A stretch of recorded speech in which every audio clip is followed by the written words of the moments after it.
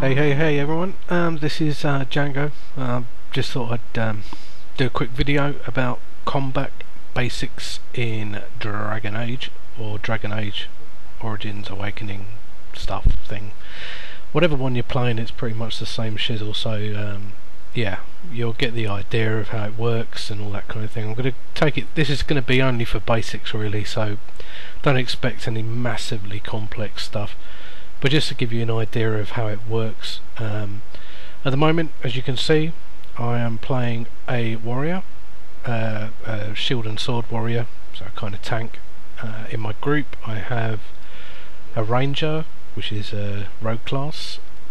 I've got Oghren who's a warrior but two-handed uh, melee DPS and Anders who's one of the new characters in Awakening who I've got set up as a battle mage but also as a healer. Mm, look at him glow. Anywho, um, let's get into it.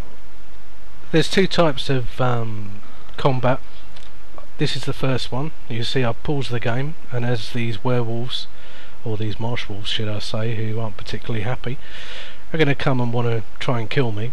Um, the first way that you can do your combat is in this pause mode where you can take control of each character and you can effectively set up commands for each one.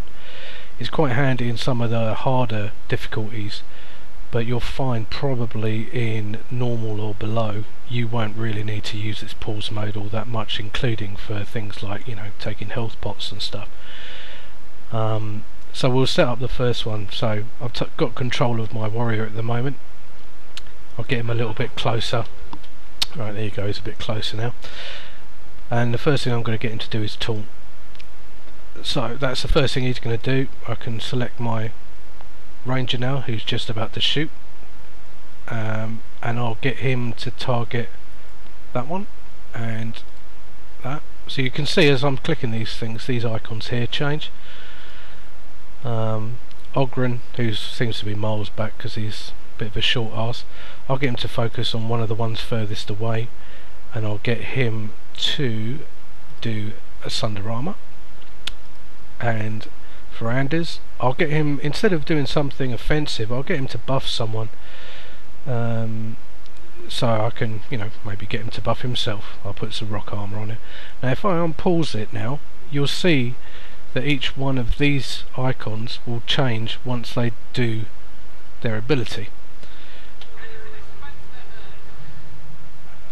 So there you go, two things have happened there. One is my warrior's fired off his taunt, so he's gone to a new ability now. And Anders has fired off his rock armor. I can also move him as well, which can happen as part of the action.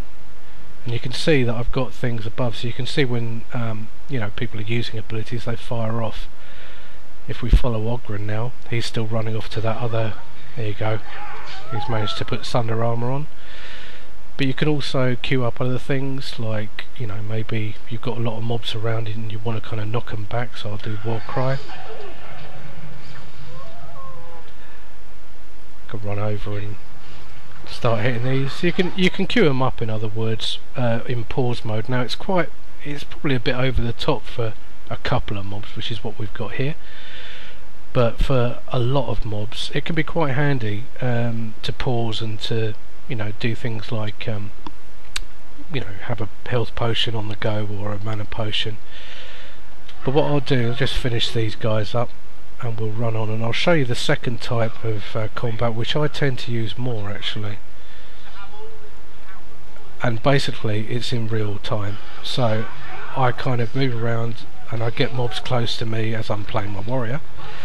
And I use my abilities. Now you'll notice that my the rest of the party is still doing stuff they're still kind of doing various things to help me out, killing these mobs or healing me or whatever. And that's done using the game's macros.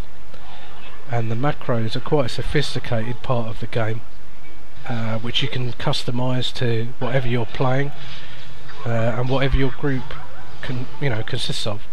So we'll go into that now. I'll show you a little bit of that. So here we are. This is the tactics view which effectively is like macros.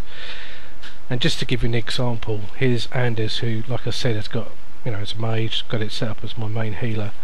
and you can set these things up simply by you know clicking on one and and saying right I want this applied to the character or to an ally or to an enemy and obviously you know um, you can customize each one to do whatever you want so if I show you just some here's one that's got you know if Anders is at less than 50% health he'll heal himself. If someone in the party or an ally is less than 50% health he'll heal them.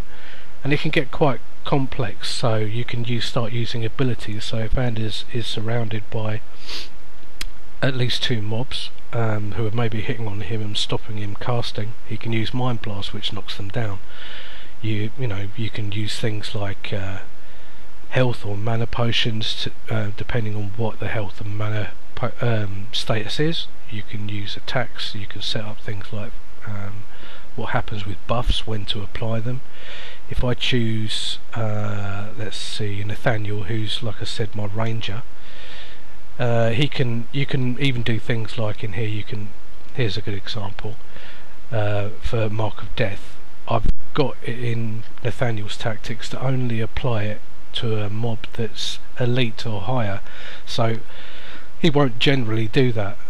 The only reason why he would do that is if there's a boss or something or a particularly hard mob that I'm fighting he'll only apply that then uh, because the debuff itself takes a little while.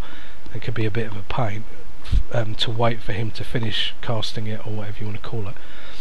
So I only saved that for particular uh, a particular rank of a mob but you can set these up to be quite complex um, they are very detailed but what effectively happens is when you're playing in real time your party's kind of doing the things that you want it to do. They can support each other and stuff like that. So it works pretty well.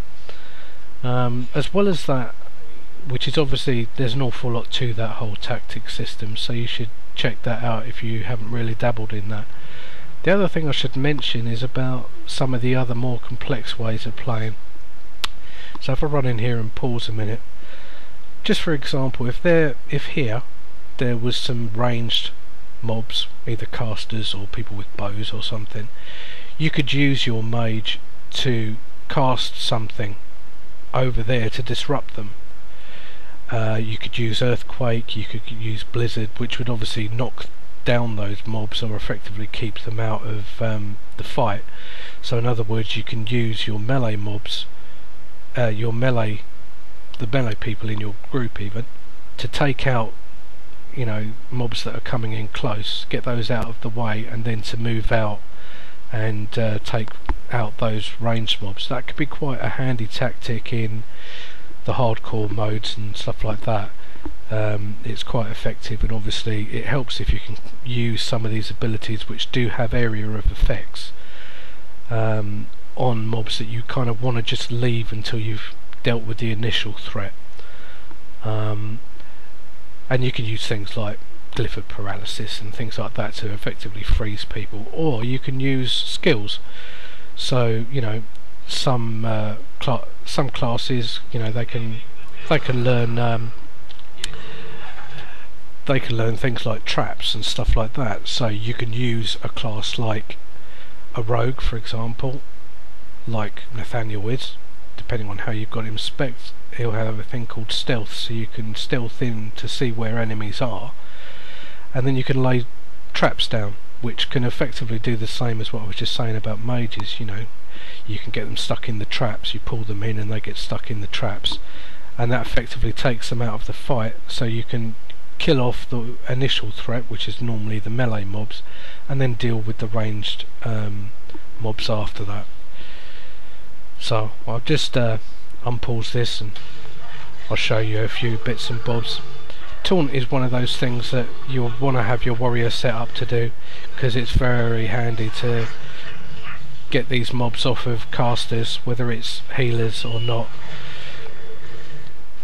But anyhow, that's it. That's the basics. I hope you've enjoyed this very basic intro to Combat Tactics and Dragon Age Origins and Awakening and look forward to seeing you again sometime. See ya.